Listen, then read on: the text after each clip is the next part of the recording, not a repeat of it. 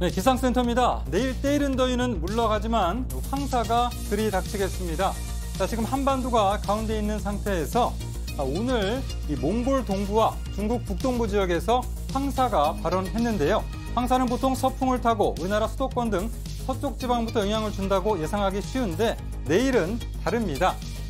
아, 기상청 황사 모델 예측을 보면 우리나라 서쪽이 아닌 이 동쪽 지역부터 영향을 주는 것을 아, 볼 수가 있는데요.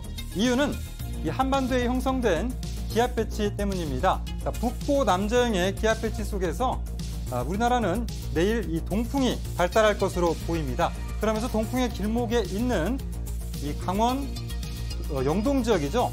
강원 영동과 또 경상북도, 부산과 울산 등지에서 내일 미세먼지 농도가 매우 나쁠 것으로 전망이 되고요. 수도권과 충청, 경남, 제주는 미세먼지 나쁨 수준으로 예측되고 있습니다. 황사가 최근 자주 발생하고 있는데요. 현재 황사 발원지에 눈덮임이 거의 없어서 매우 건조한 상황입니다. 황사가 쉽게 떠오를 수 있고 바람 방향만 우리나라를 향하면 앞으로도 유입될 가능성이 매우 큰 상황입니다. 이어서 내일 날씨 키워드로 정리합니다. 저희가 물러가고 내일부터는 다시 예년 이맘때 봄 날씨를 회복하겠습니다.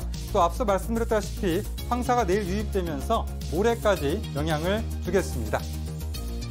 내일 전국이 대체로 맑겠지만 오후 한때 전라도에선 빗방울이 떨어지는 곳이 있겠습니다. 기온 보시겠습니다. 아침 기온은 서울 12도, 어, 광주 16도 등으로 오늘보다 2도에서 5도가량 낮겠습니다. 낮 기온은 서울 22도 등 중부지방은 오늘보다 조금 오르지만 남부지방은 대구 20도 등 오늘보다 5도에서 10도가량 크게 떨어지겠습니다.